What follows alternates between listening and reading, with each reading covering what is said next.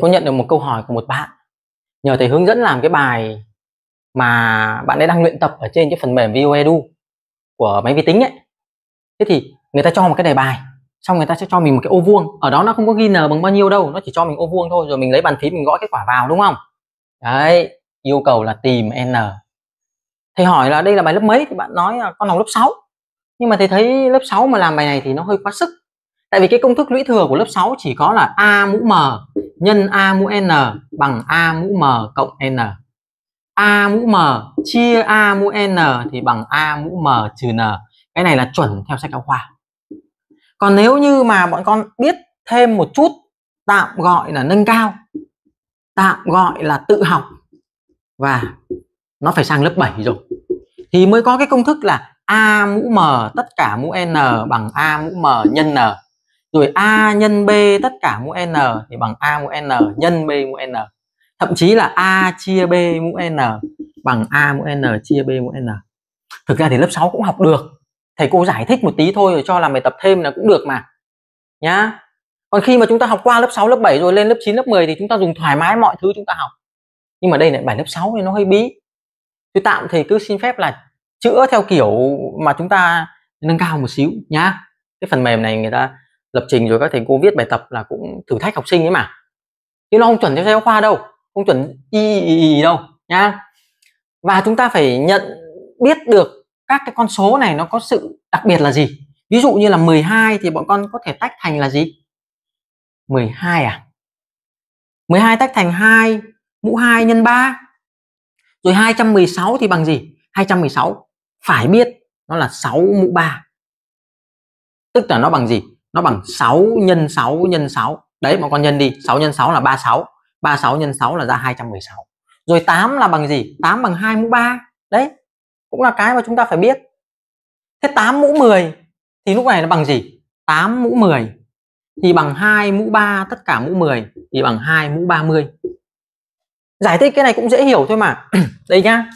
8 mũ 10 là gì? 8 mũ 10 là 8 con số 8 nhân à 10 con số 8 nhân với nhau chấm chấm chấm đi, được không? Chỗ này thì thầy giải thích bọn con ở đây là 10 số 8 thế bây giờ mỗi số 8 thì lại bằng mấy? Mỗi số 8 thì lại bằng ba con số 2 nhân với nhau. 2 nhân 2 nhân 2 là được một con số 8 xong lại tiếp tục 2 nhân 2 nhân 2 lại được một con số 8 cứ như vậy.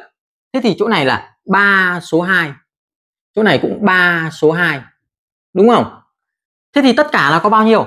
10 cái con số 8 mà mỗi con số 8 thì lại viết thành ba con số 2 vậy suy ra là có 30 số 2 ở cái tích này. Vậy thì 8 mũ 10 hiển nhiên nó phải bằng 2 mũ 30 không có gì phải bàn cãi. Đúng chưa?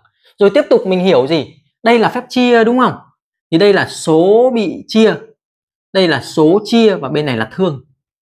Thì từ hồi tiểu học chúng ta đã có công thức là gì rồi? Chúng ta có công thức là số chia thì bằng số bị chia chia cho thương. Cái này từ tiểu học là phải có rồi đây này. Vậy thì vào bài này, mình mới suy ra một điều. Thôi, bọn con chưa biết cái ký hiệu suy ra. Để thầy xóa đi, thầy viết bằng lời. Là suy ra hai chấm. 216 mũ n cộng 1 bằng. Số bị chia là 12 mũ 30 chia cho 8 mũ 10 vừa biến đổi rồi đấy, là 12 mũ 30 chia cho 2 mũ 30 mà chia là gì? Chia lại cùng số mũ. Đây, công thức nó đây. Nó chính là bằng a mũ n chia b mũ n đây. Thì cái chia này người ta viết thành a chia b tất cả mũ n.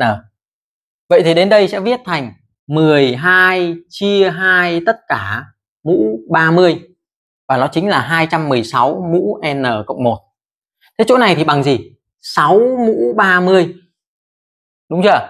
Thế ở đây là 6 mũ 3 tất cả mũ n cộng 1 tại vì 216 là 6 mũ 3 thầy giải thích ở đây rồi. Chúng ta có cái gì? Viết tiếp vào đây nhá. 6 mũ m, tất cả mũ cái này thì công thức đây. Mũ của mũ đây. Mà thầy cũng giải thích chỗ này rồi này. Mũ của mũ thì giải thích cho công thức này như thế.